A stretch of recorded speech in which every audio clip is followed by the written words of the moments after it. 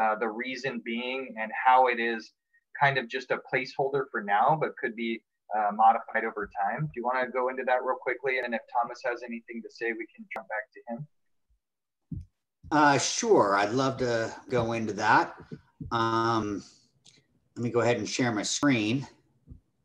This is a little bit freeform because uh, unfortunately some of the connectivity of some, but at any point we can jump back into those conversations. So we're just keeping fluid for now. Okay, without completing the salt sink, we can simply use our dredges, which can move material at well less than a dollar a cubic yard, even with union labor costs in California. We can build one around this size. Uh, now, this would just simply be a, a kind of restricting barrier to start off with. It would be the basis of the perimeter wall for a salt sink. But we could put a little spillway up in here that would kind of restrict the water, meaning that the approximately 848, 50 um, acre feet per year coming out of the New and Alamo River will all flow into a much smaller zone, which will displace the existing saltier, more polluted water. So as long as we do phytoremediation back up into these areas, this whole area can have floating islands. Um, we'll talk about North Lake and um, this area in just a second to give you an idea, the current sort of plan for a species um, conservation habitat and costing about $200 million. Um, we can do phytoremediation and um, essentially build a 33,000 acre sort of species um, conservation habitat for in the neighborhood of $40 million versus $200 million. And this would be, you know, this would include $10 million um, for phytoremediation um, and floating islands. Um, the cost of building this berm is actually quite inexpensive. Here's the catch you don't want to let the entire interior lake go dry before you complete everything and import your seawater because these are not these are designed these berms are designed to be a separator of water they can handle small differences in the altitude of water from this side to this side but as this water drains away um, the hydrostatic pressure on this side will tend to push water through the berm. Um, we can do the same sort of thing up here. And, you know, again, these are going to be uh, increased channelizations. A lot of this is, can be drier habitat for selenium. Um, this can be done on both sides, uh, floating islands or permanent islands. These are berms. Okay, this would be a recreational ski area you can have access right off the major road with a deepened channel. And all of these would be like canoeable. Um, these would all be wetlands and, and habitat. Um, but we can create zero dust emission from those areas submerged in water. Um, eventually, we will uh, let's see if I can find it. I wouldn't really. What's what's the price difference on that North Lake here with a dirt berm separation barrier as opposed to a levee berm? I think it was like a four hundred million dollar project or something. Yes, uh, we're we're talking pennies on the dollar for in either case. We could do both of these, and I'd have to switch screens and, and check the task list budget that was included in our RFI I don't have that number off the top of my head and I don't want to guess, but for well less than half of the $200 million to build this type of system. And as Roger mentioned earlier, um, if you build a berm an actual levee, which is designed to hold water up, hold water back against the force of gravity, your cost of construction goes up by orders of magnitude. If you want a good idea for what this is that we're going to build, think of the barrier islands off the Gulf Coast.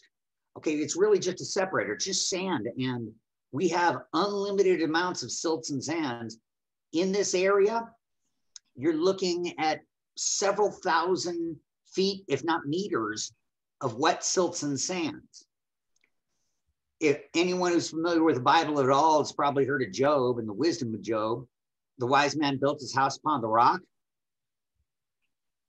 If this area in the upcoming earthquake uh, that's 130 years overdue on the San Andreas over here produces liquef uh, liquefaction as much as was exhibited on the 2010 um, earthquake. This is 2009. Watch what happens to much of this area as we shift to 2010. Okay, all this area here experienced li uh, liquefaction, differential subsidence. Some areas sank more than others. If you have that same, and you are very likely to get that type of subsidence in this area. If you try and build, I don't care if you build it out of titanium, you try and build a, a, a levee or dike and you get some sort of differential subsidence in this area, your levee is going to fail.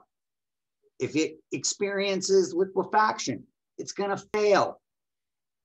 And if you dry out everything down here, it's going to be like a uh, catastrophe movie where the dam breaks. If we do, if we have water on both sides of the levees, and for some reason our mound kind of shakes and subsides a little bit, um, and you have water on both sides of it, there's a difference between earthquake hazard. Both of these have the same earthquake hazard. They may sort of fail in a 7.2 earthquake or what have you. The difference is uh, the earthquake risk, which deals with the money to either fix it or the damage caused by the earthquake. You try and repair this, it's hard. You try and repair this, it's easy. And the big difference is that having water on both sides is actually part of the structural engineering and a reason why you build a sand berm rather than um, a levee to hold back water. Um, let's see. Let me go ahead and just kind of finish this out. Okay, if we finish out the berm around the perimeter, we cross the lake at the shallowest section. Now, yes, we can reduce this quite a bit. You know, we can pull this way back in closer. We can move the whole thing shallower, all of which make it less expensive. We have a lot of options there. One reason why you have let's say in this instance, 90,000 acres. What if I told you that in grade school, we learned the solution to our planet's biggest threat? I'm talking about global warming. There we go. All right. I'm about done here. The re take the uh, acres, multiply the size of the sink times six, which is the approximate evaporation rate for Laguna Salada. Um, 90,000 times six is 540,000. So if we import 500,000 acre feet of salt water into this area, we're still going to be pulling water around. And really, if we're going to go that, I'd really prefer to do a little less import because the more salt water you import, the more salt. This salt sink would, at those type of numbers, would last about 200 years. Um, we'd eventually be able to salt mine, do salt gradient ponds, do lots of other stuff within this area. But we create for those who are familiar with the um, Bay Area Delta, San Francisco Bay Area Delta, basically this is our delta. We're getting very low salinity water, increasing salinity, more salinity, and this would be like ocean water and would probably be closer to 45 parts per thousand by the time it enters into the salt sink. The salt sink will go to 350 parts per thousand prior to salt actually precipitating out of the water column. Um, Nathan, is that a, a, a concise explanation? Do we have more time? Okay. Um, one Go other. ahead. Okay. Yeah, go- one other thing, as we bring our water in, all right, number one, our pipeline is going to be only about 72,000 yards long, which is one of the smaller ones. Um, the elevation difference between here and here is um, only, you know, 235 feet.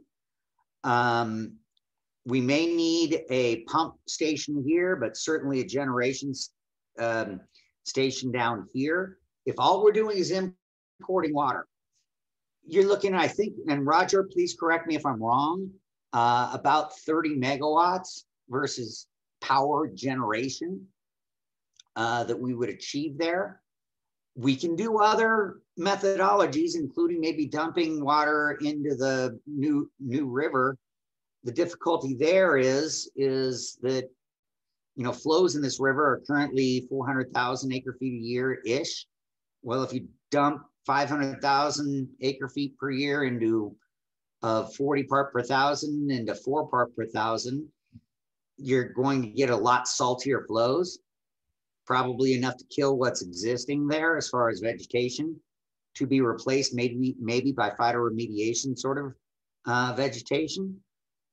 But the, the steel pipeline is a convenient, easy way of not increasing salinity within the aquifer that exists, um, not having to deal with crossings, entitlements, um, right of ways with lots of different infrastructure that's all the way down here.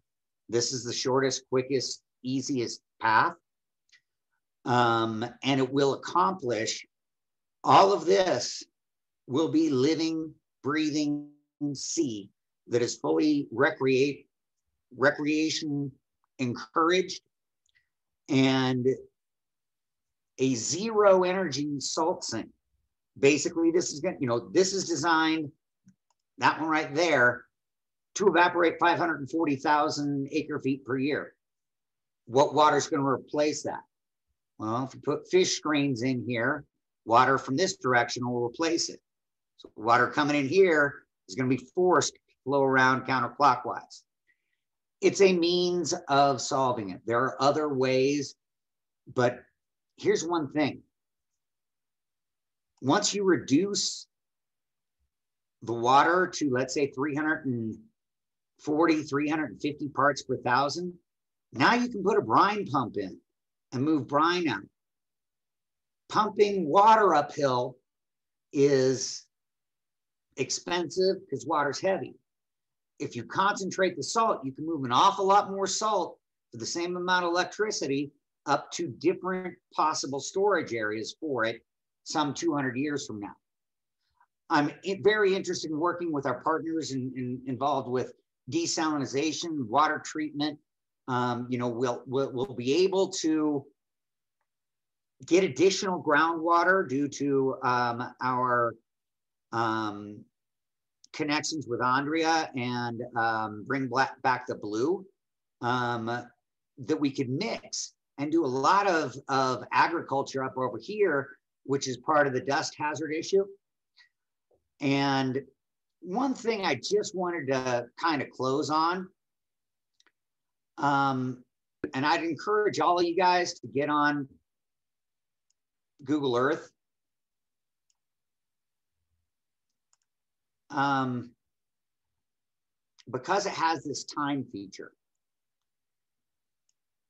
And I want you to look at, let's say, the Central Valley all the way through, well, this is uh, Lake Mead, Lake Powell. And yesterday's conversations with the two PhDs on the monsoon enhancement was very fascinating. But one thing that you can do, and this is part of the conversations that they talked about, is we can go back to, let's say, 1984.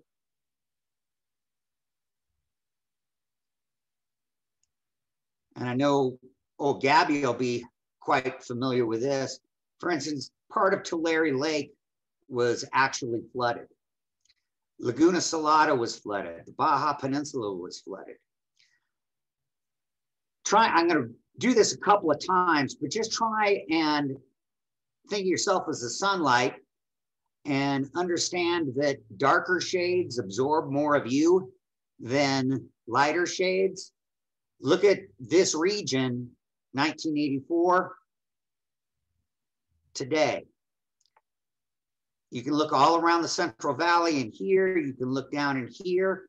This salt deposit on the Baja Peninsula is highly reflective white. If we're looking to enhance um, temperature differentials between land surface and the marine boundary layer, then yeah, this whole area up in here, this desert, that's going to stay desert. But you can look back and forth. You can see darker greens in many areas. You can even watch what happens to Lake Mead here as we go to 2016 and Lake Powell. Their size and the reflectivity from the region increase dramatically as that lake shrinks in size. Um, evaporation's reduced. All this goes hand in hand. This is why we need those studies. Absolutely. Thank you so much, Rob. I, I wanted to give you a chance to wrap up your conversation yesterday. I appreciate that.